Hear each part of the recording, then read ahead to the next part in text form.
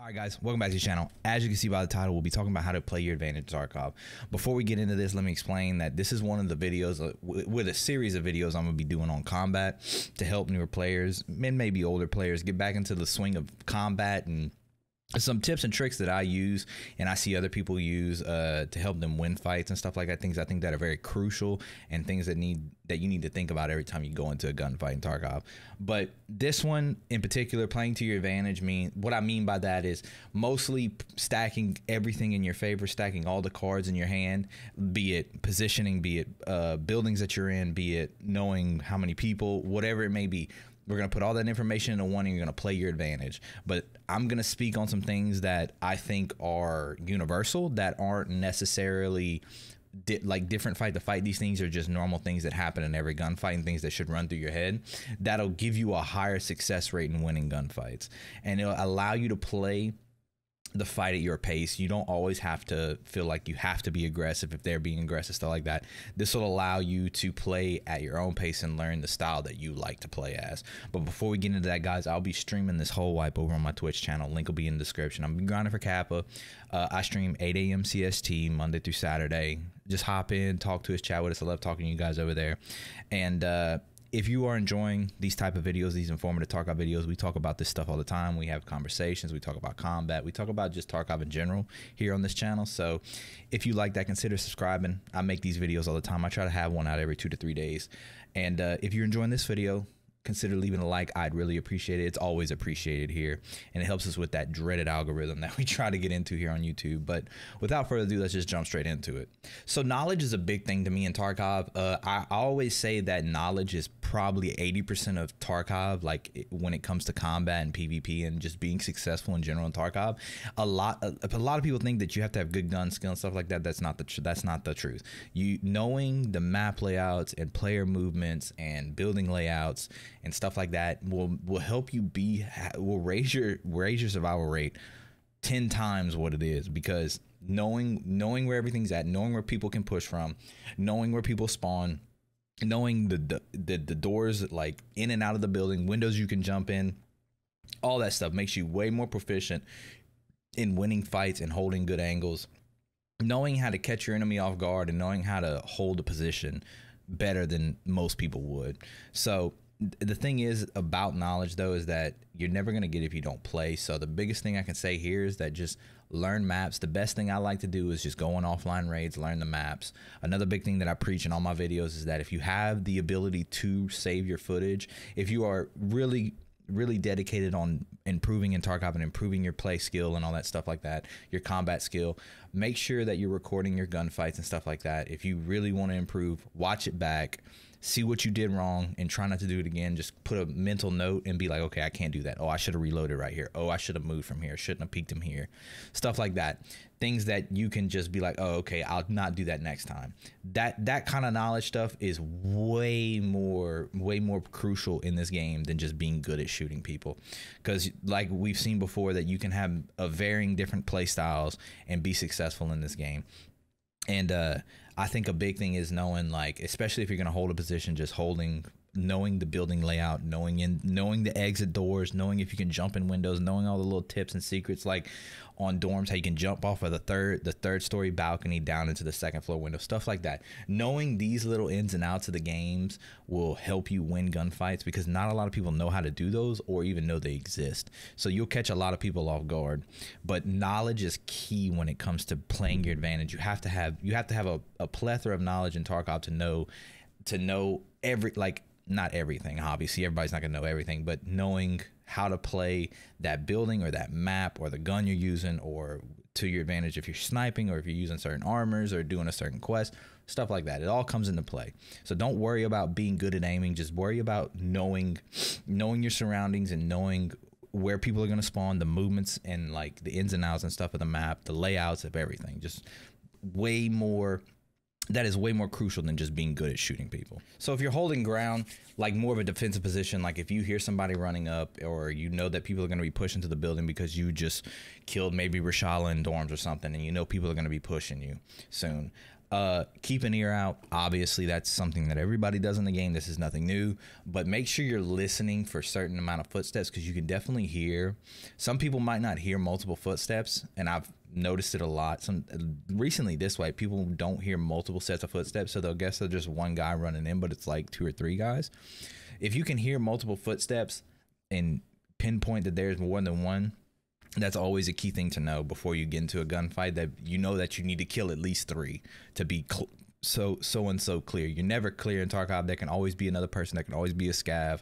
So just just know that how many people are going to be pushing you at that at that point in time, and also knowing where they're going to be coming from. So if you are in dorms and two or three guys are pushing you, knowing that they can they can jump in first floor on the L section on the first floor through a window, that's an entrance. They can jump in through the back door, the back window in the in the bathroom and stuff like that. Knowing every angle that they can push you into, like from like entry into the building, is a, is a place that you can probably hold an angle.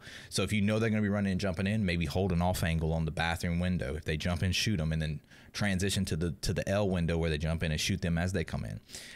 Uh, the biggest tip I can give for holding ground is never let your enemy inside the building. Try to keep them outside the building as much as possible because there's always that fear for the people that are pushing that they're gonna run into run into barrels. If the first guy that jumps in the window dies, they're gonna be very hesitant to push into the building because they're gonna be thinking, "Oh, he's holding he's holding the entrances." So that's a good thing to stack stack a lot of like getting somebody right off the jump jumping into the building that stacks all the cards in your favor because they're gonna be they're gonna be playing a lot more passive in that gunfight. They might even disengage and wait for you to run out. But the thing is is that never let them into the building. Try your best not to, but once they do, you don't want to give up too much real estate. If you let somebody in the building, if you can't hold off every single one of them, try not to give them the try not to give them a floor or a whole section of a building. Try to keep them confined into just that entrance or just in that little area where they entered in because you don't want them to have free reign to move around and maneuver themselves into angles to where you can't where you're not knowing where they're going to be. You want to make sure you know where they're at at all times in that building. You don't want to you don't want to give them too much real estate inside the building. And when you're setting up positioning for a fight inside the building with an enemy that's pushing you inside, you always want to have a place uh, you want to have positioning where you're advantageous to have different angles to peek from. You don't you don't want to pigeonhole yourself into a room. I've seen way too many times this wipe. I'm fighting a player or multiple players, and they will just get inside a room, close the door, and wait for me to open the door to push them, and pray that I kill, pray that they head tap me as I run through the door. That is a terrible strategy. If I have nades, I can nade you out that room. If I just want to spray through the door. If I have enough ammo, I can just spray you through the door. And it all boils down to if there's multiple people on my team, you're not going to win that. 90% of the time. Yeah, there's always that one off chance you can head tap me. But the thing is, is that you always want to be in an advantageous spot to have multiple angles to peak, multiple angles to push from, and you always want to have an exit strategy. Never back yourself into a corner, never back yourself into a way that you have no way out. Always have a way out even if it's jumping off the roof of a building or out of a third story window or a second story window, you won't die jumping out a window. You pop painkillers, you hit the ground, your legs will break, but you'll be away from the building, you'll be away from the threat, you can run away. So never back yourself into a corner to where you cannot escape at all. And always have a position that you can rotate from. You can rotate different angles. Don't don't pigeonhole yourself into peeking one angle only because if they know that there's no other angle you can peek from, they're gonna have if there's multiple people, they're gonna have a guy sitting on that angle while somebody pushes you, and you're gonna die. The second you peek that angle, you're gonna die. So that's one thing I would like like to, to stress the most is that always have an extra strategy and and always have a position that you can peek multiple angles from. Okay, so being aggressive. Uh, most people think being the aggressor in a fight really doesn't put you at an advantage. They would think you would think that sitting back and waiting for them to push to you would be a better way to play to your advantage, but you can honestly a lot of people in this game and I and and if you've played this game for any extent of time, you know that the second like somebody starts pushing you and they start uh, they start pressuring you, you get that intense like anxiety feeling or the the sw- like your hands get sweaty and like you start like listening to every little detail every little thing puts you on edge so you can definitely be aggressive and have the it play to your advantage while being aggressive but it's not as aggressive as like I would say like landmark and Willerz and them where they just W key and they know how to do it. Like they just W key into a building and just head tap everybody you you could do that if you're that good, but some people aren't. So here's what I think is a good way to do it while also being aggressive because being aggressive is a really good a really good play style that you can use to your advantage if you know how to use it right. But going going in close like a the thing that I do the most is that I'll go up to a building if I know people are in there, I'll sit outside the building for a second or I'll walk around I'll run up a staircase or I'll run up to a door open it close it. Like I'll mess around with the entrances or run up against the building to where I know like people will sit in this corner. So I'll go to that corner of the building on the outside and listen to see if I can hear them shifting or aiming in or whatever. You want to gain as much knowledge before you get into the building because for one you don't want to run into barrels. Two you want to know how many people are in the building. And three you want to have you want to have them guessing where you're going to entry from. Especially if you have if especially if it's just one person and you're solo it's a lot easier for them to just hold every angle and wait for you to push through one. So maybe just if there's like four or five entrances maybe it's dorms and you have both staircases to go up all the way to third you can go through the front door you can go through the windows like just mess around with each, entrance open a door run back and forth uh, a good thing you can practice doing is running back and forth and holding down middle mouse and moving your camera. So you can, if you don't know in Tarkov, you can run back and forth in front of a door and press the middle mouse button, and your and your character will turn his head, but still run in the direction you were running.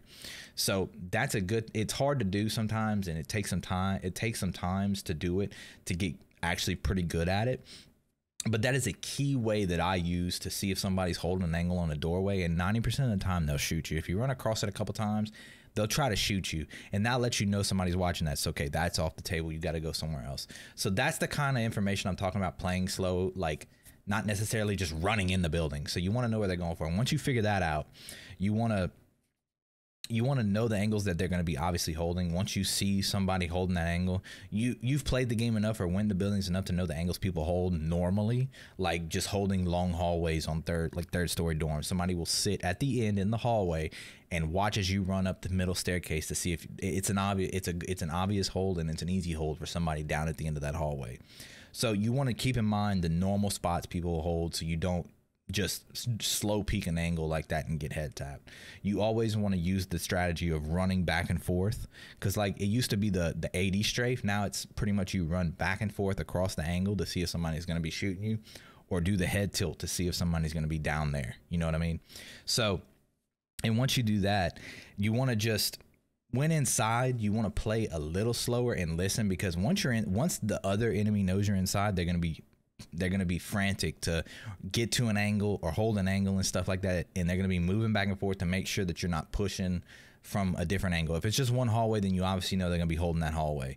But once you're in a building you don't have to play like creep walking slow but just play a little slower to make sure you get all the information again.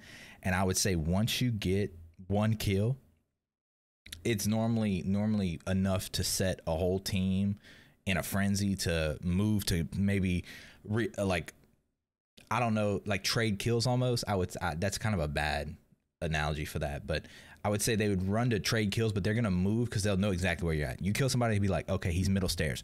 Well, this guy's gonna push down to because he knows that all this real estate you're not there, so he's gonna push down to where he's holding you on middle stairs. But being aggressive, if you shoot the guy on the first on the first floor, run up the stairs, you'll know the guy's gonna be pushing down to get you, so you can run up there and shoot him as he's pushing you. So it's like you wanna you wanna listen to know where everybody's at, gain all the information, and play aggressive with that information.